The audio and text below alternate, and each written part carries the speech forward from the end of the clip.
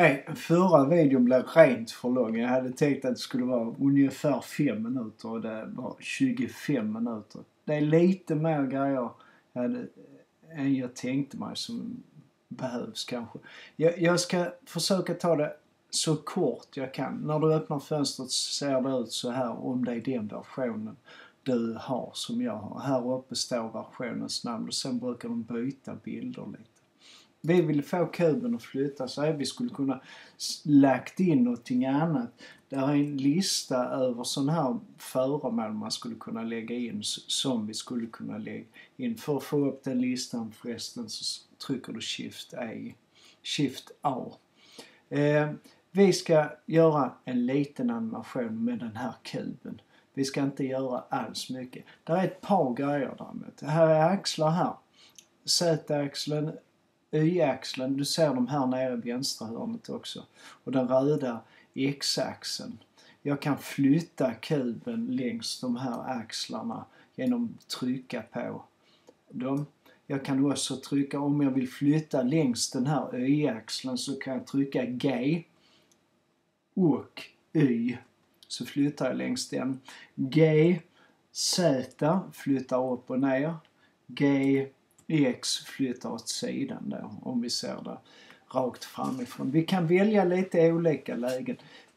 Ibland så vill man komma närmare föremålet. Då använder man mushjulet för att komma in och ut. Ehm, vi kan välja att se saken framifrån. Då trycker vi en etta på nummerplattan. Från sidan en trea. Uppifrån en sjua. Kan vara bra att veta. Och ifrån kameraläget. Ifrån så kameran tar bilderna sådär. Och det markeras runt så. När man markerar någonting i, i Blender så högerklickar man. Om jag vill markera, nu, nu trycker jag 7 och så har jag ett läge uppifrån, zoomar ut med hjälp av mushjulet och nu kan jag markera den här, som du ser här, som en lampa. Jag högerklickar. Det här här borta är en kamera, jag kan högerklicka på den. Högerklickar på kuben och så har jag valt det. Eh, vi väljer att att behålla det här läget. Vi skulle kunna gå över och så trycka i animation här och så får vi upp ett fönster som är jättebra för animationer. Men vi ska göra ett enkelt. Så vi trycker här och så är vi i det här öppningsscenen, default-läget. Och vi, vi ska bara göra att den flyttar, ändrar storlek, kanske roterar lite. Och om jag vill ha det från så som kameran ser det så trycker jag nolla på tangentbordet. Ett framifrån, tre från sidan, sju uppifrån. Noll från kameran. Och om jag skulle nu vilja att den blev mindre så trycker jag S för scale. Rotera R för rotera och eh, G för grab.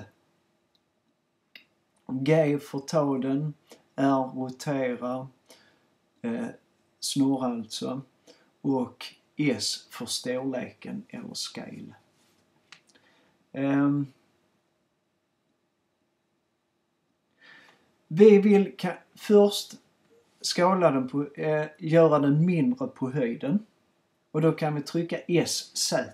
Z var den här axeln, S, Z och vi trycker ner den. Sen vill vi att den roterar lite trycker R och vi vill bara att den roterar längs Z-axeln så vi kommer till att trycka så. Och escape från det också. Och om jag skulle vilja att den roterar längs den här X-axeln så skulle jag trycka R, X och så roterar den längs den axeln. Nu måste vi tala om för datorn hur, hur, hur vi vill ha det vid de olika scenerna. Här nere så är en eh, eh, eh, eh bildrutorna skulle du kunna säga. Det går från 1 till 250 och här berättar det, du ser här nere, här berättar det vilken ruta vi är på. 1 till 250 kommer till att bli alldeles för långt, vi kommer till att korta den sen. Vi, vi trycker, vi vill ha att den ser ut så här från början, trycker E och sen så trycker vi Location Rotation Scale. Lock, rot, skål. Eh, Platsen, snorningen eller rotationen och storleken scale, skala. Eh, lo, location Rotation Scale. Vi trycker på den. Då dyker, blir det gult här nere. Det visar att den har den kommer ihåg det. Om vi nu vill gå fram ett antal rutor, som jag sa innan så är 24 rutor en sekund. Om vi vill gå fram ungefär hälften, 10 rutor, trycker jag bara på uppåtpilen. Där finns en uppåt nerpil och så höger vänsterpil. Jag trycker ett snäpp på uppåtpilen så flyttar den sig 10 steg. 10 steg blir rätt bra. Nu vill jag göra en ny på något sätt. Så här ska den se ut i det läget. Jag vill kanske rotera den lite längs Z-axeln så jag tryckte R, Z. Alltså R för rotera. Du ser att det dyker upp så jag kan rotera den. Z för att det är bara längs den axeln jag vill göra. Och jag vill bara göra lite så här. Men jag vill att den krymper ihop sig på höjden. Så jag trycker S, Z och så kan jag dra ner den lite. Sen så går jag fram, nej, nu måste vi komma ihåg att spela in det i. I, det dyker upp, jag trycker igen. Eh, det går att göra det här automatiskt egentligen. Här finns en inspelningsknapp här. Eh, jag vill däremot göra på det här andra sättet just nu. Eh, nu trycker jag bara fram den fem, fem rutor kanske. 1, 2, 3, 4, 5 med högerpilen. Och sen så vill jag rotera den lite åt andra hållet. R. Och så bara längs den här axeln Z. Och så roterar den lite ditåt. Och sen vill jag ha den lite kortare på längden. Eller höjden, ursäkta. S för scale. Z för längs den axeln. Och jag tror jag tar ungefär så och så vänsterklickar jag. Sen drar jag ner den lite. Och så trycker jag E för att den ska komma ihåg det. Nu vill jag att den skjuter i höjden. Så jag tar, jag tror jag direkt tar 10 rutor framåt även om det, nej, jag tar bara eh, tre, fem rutor framåt ungefär. Och så roterar jag lite tillbaks.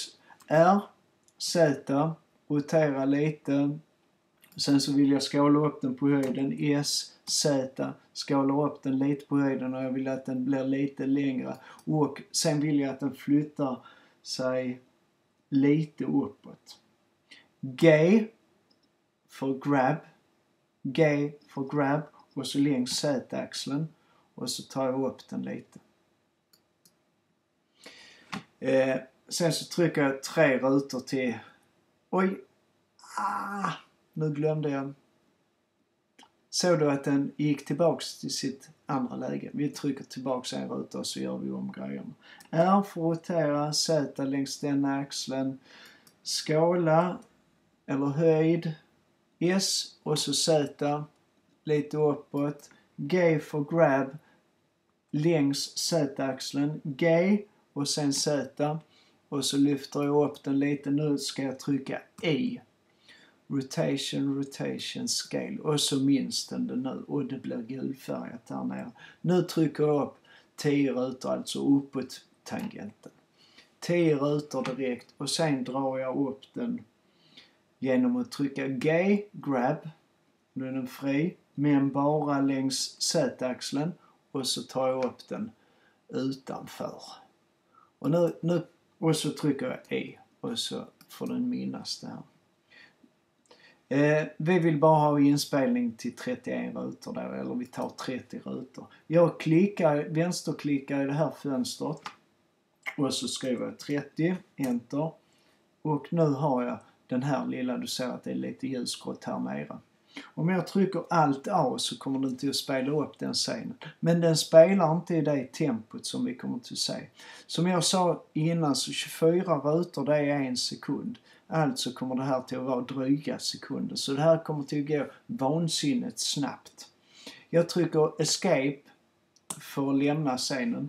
Och det grönfärgade visar då att jag är på 31 rutan som syns här nere. om jag tar tag i den här vänster, med, klickar med vänster så kan jag dra den genom hela den här processen på något sätt. Kan vara bra att komma ihåg. Nu ska vi spela in det. Här borta där kameran är belyst, du ser att den är blåfärgad, så står image. Det är för bild, animation för en bildsekvens då en videospelning. Här är lite hur, hur eh, bra bilden kommer till att bli, hur skarp. Ehm, och det är okej okay inställningar. De, just för det här så spelar det inte så stor roll. Men här nere, där vi vill spara den. Om det är nu så att vi vill spara den på skrivbordet måste vi trycka, ska vi se, tryck, trycka på den här lilla mappen. För vi vill inte ha den i den temporära. Utan vi vill kunna se den på skrivbordet. Så jag trycker på den. Den här öppnar sig. Jag har en meny att välja. Jag väljer att lägga den på desktop på skrivbordet och så skriver jag kub, kub 1. Och så trycker jag accept här borta. Och sen så vill jag inte spara den som en bildsekvens. Jag vill inte ha 31 eh, pengbilder på skrivbordet. Det är jättebra ibland och det, det, är bra om det är så att man vill gå in och ändra. Men just idag så vill vi inte alls göra något sånt utan vi vill välja ett annat format. Jag klickar på de här pilarna här borta, få upp en liten meny vad jag kan välja mellan och jag kommer till att välja Quicktime. Det minsta formatet tror jag är MPEG och någon av de här AVE-formaten eh, kommer säkert VLC spela. Jag tror inte Quicktime dyker upp för dig däremot. Jag trycker däremot på Quicktime för att den vet jag funkar. Nu är det Quicktime. Eh, nu kan jag välja att trycka animation och den kommer till att spela upp det här. Jag trycker animation. Du ser här nu uppe i vänstra hörnet, den är på ruta 3 nu. Här borta står hur lång tid varje ruta tar. Och här lite längre till höger hur långt den är i den arbetsprocessen för den rutan. Eh, under tiden så tänkte jag att jag skulle visa två små klipp. Eh, där. Och visa lite. Jag, jag, jag tog nämligen en M, ett MPEG-klipp eller spelade in en MPEG-fil som var den här. Eller en MPEG-film ska jag kanske säga. Som blev så här och den blev så stor. Du ser här uppe 258 kilobyte. Och sen så gjorde jag samma, precis samma och så spelade jag in den i ett annat format, mode. Och vi kan se skillnaden här mellan de här båda. Den här har ju väldigt taggiga kanter och en rätt kass inspelning egentligen. Eller vad man ska säga. Den, den kan ha mindre, inte större. Mindre. Så kanske det är okej. Okay. Det, det, det kanske ser ut. Men om jag på något sätt vill ha den lite större så vill jag kanske ha de här skarpa kanterna som är här.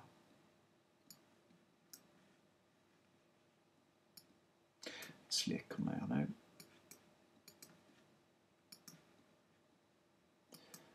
Och så har vi fått vår, vår filmsekvens här.